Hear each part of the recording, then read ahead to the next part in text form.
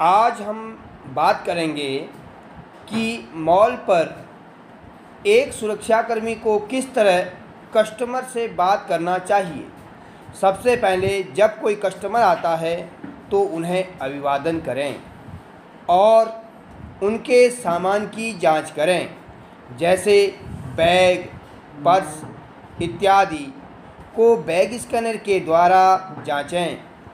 ताकि कोई आपत्तिजनक वस्तु अंदर न जाए, जैसे चाकू, सीजर, बंदूक, गन एवं कोई विस्फोटक पदार्थ इत्यादि। ग्राहक को हर संभव मदद करने का प्रयास करें और असभ्य भाषा का प्रयोग ना करें।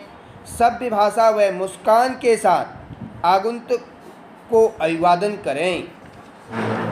यदि किसी कस्टमर के पास कोई ऐसा सामान हो, जिसे अंदर ले जाना निषेध हो तो आप उसे अपने पास बाहर सुरक्षित रखवा सकते हैं, ताकि बाहर जाते हुए वह अपना सामान वापस ले जाए। अब बात करने, करते हैं कि एक सुरक्षाकर्मी के मॉल में क्या कार्य होते हैं।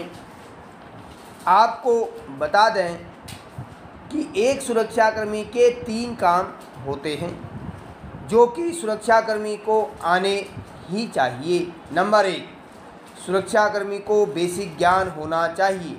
नंबर दो, फायर का बेसिक नॉलेज होना चाहिए। नंबर तीन, आप जिस लोकेशन में या जिस संस्था में जॉब कर रहे हैं, उसकी पूरी जानकारी बहुत आवश्यक है।